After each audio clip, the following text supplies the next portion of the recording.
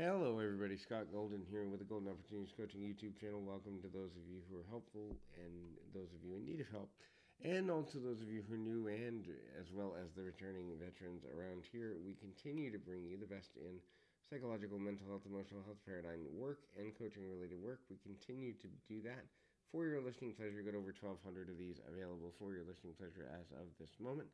We continue to add as often as we can. If you're looking for ways to reduce stress. That's kind of a little bit about what this audio is about, but uh, certainly stress reduction and coaching around managing emotions in a more meaningful way is one of the many things that I'm good at. And so I would love to be of help to you. Helped over about 17,000 people and uh, 4,000 couples over the last 15 years. So certainly wouldn't mind adding you to that list. If you are looking for coaching, please feel free to reach out at PO Perception on Twitter in the and or um, in the About Me section of this YouTube page. Either way, you can get in touch with me or a member of my team. We can make something happen for you. So, the benefits of cuddling, and I know that sounds really weird, but there are benefits to physical touch, cuddling, and just being physically close with another person. We're going to talk about those a little bit today. The first is it's a stress reliever.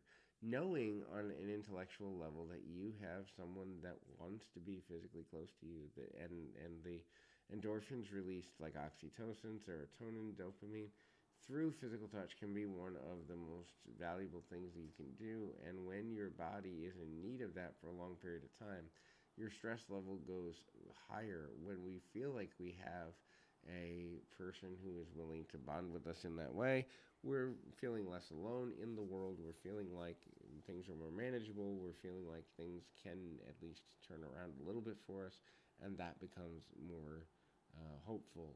And then that will translate to our immune system. So when the positive hormones are um, released into the body, then we begin to understand that our immune system is bolstered when these positive hormones do get kind of run through the body. And when we begin to do that, then we're better able to identify ways in which we can get to a healthy space within ourselves. That will also trickle down into uh, a reduction, maybe not a removal, it would be wonderful if, there, if there's removal, and I'm sure there are for some people, but a reduction at the very least of physical pain. And so, reduction of physical pain is important for a number of reasons. Obviously, if you're in pain, you're dealing with a lot of stuff, you're dealing with a lot of heavy stuff, and that can be super overwhelming. But when we uh, allow ourselves to experience physical touch on a continual basis, on a regular basis, we can, in fact, reduce the amount of physical pain that we experience.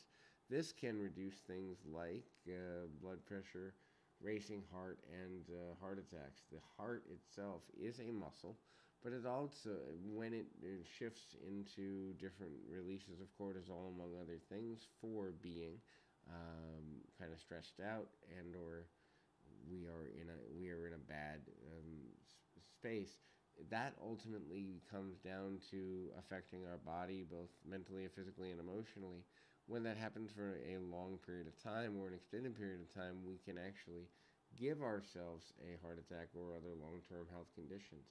Not to mention, physical pain can be reduced through touch. Um, there are those that believe it's an energetic thing, there are those that believe it's a mental kind of um, hypothesis or uh, kind of a, a placebo effect. There are some that believe there's actually changes in the hormone levels. Regardless of what you believe, there is proof that a person who receives more touch, more cuddling, is actually more capable of dealing with longer stretches of physical pain, which if you have chronic pain and or you're dealing with chronic illness, having that touch there is able to create at least a possibility of belief that hope is around the corner as far as changing things for the better for you and then you'll be able to deal with whatever other challenges you have going on on a mental or emotional level. Sometimes it's very overwhelming to deal with all these things, but at least if we believe that there's a little bit of hope left, we can actually balance things out for our own benefit and make decisions around the idea of what is going to come next and how we get to a more meaningful level. And so the next thing there is kind of looking at um, ways to, you know, balance things in a meaningful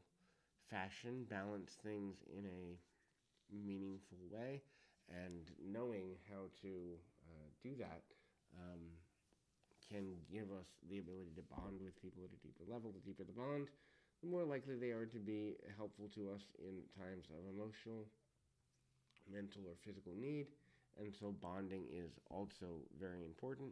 We'll be back with more right after this.